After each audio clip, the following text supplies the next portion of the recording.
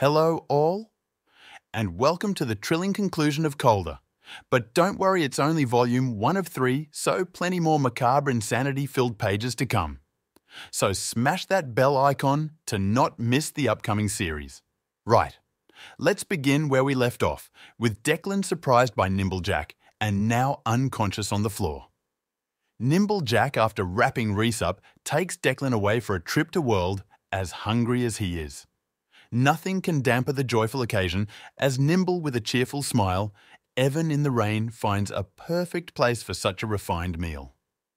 After the table and the mood is set, Nimble expresses his concerns about ruining the recipe, spoiling such an exquisite meal only being compared to the finest of truffles is thrilled that it all worked out, and he and his stomach is absolutely honoured to be with a man of such refined taste.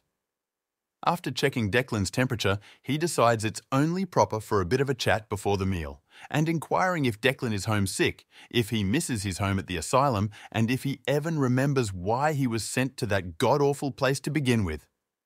He points out that our dear Declan has a very mysterious and shady past, filled with betrayal, monsters, and murder.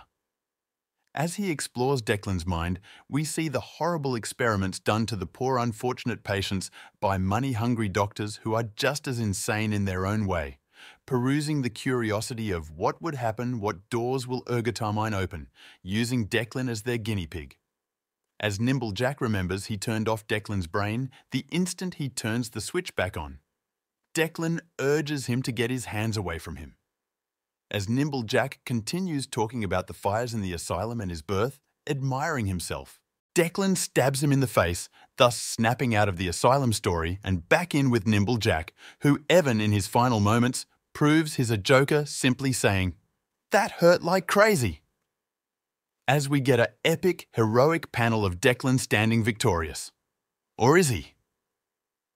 As Nimble Jack points out that it looks like Declan killed him, as he gets hit in the face with a wine bottle. As Declan drives the bottle into Jack's mouth with a crazed looks of satisfaction, he stops only to realise he is being applauded by Nimble Jack, who, mocking Declan, points out how easy it is to get him crazy and answering Declan's frustrated question on what he is with, I'm hungry. As he grabs Declan and begins to feast on his long-awaited meal.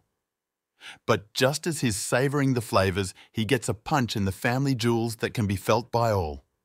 And as Declan is enjoying his moment, Nimble Jack reminds him of Reece before disappearing, leaving Declan alone and confused. Not for long as driven by hate, fear, but also love for Reece Declan, find a way out that surprises even Jack, who wants to have a peek inside Declan, and literally does it giving us a glimpse into the fond memories of Reece as she took him in, read him stories, made him a hat, and decided his birthday. Well, weekly, but that is because she loves cake. And as even Nimblejack is touched by such touching moments, he realizes Declan is gone a bit embarrassed. He got distracted, he gets punched in the face again by Declan who now has a firm resolve to end him, pointing out he learned a few tricks as well and he is just getting warmed up. Telling Jack he stared into the abyss of his insanity for decades, and now the abyss is staring back.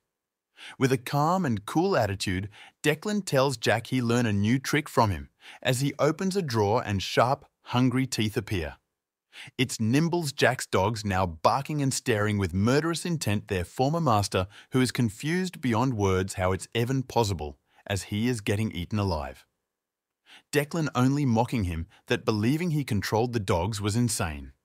As he grabs Jack and points out if he realizes that he hasn't eaten in 70 years, sucking up all Nimble Jack's madness as he crumbles slowly to dust, killing him, ending the story.